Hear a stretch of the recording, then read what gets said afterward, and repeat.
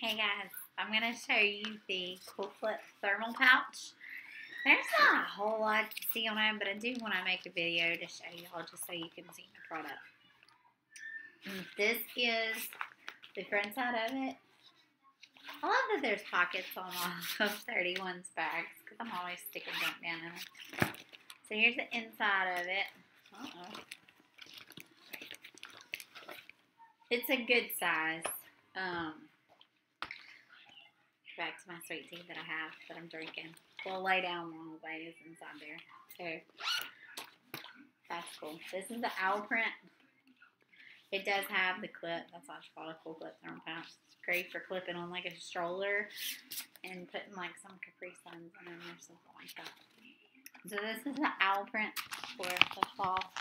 It comes in three prints. It comes in the digital camo print and it comes in the um, ribbon stripe.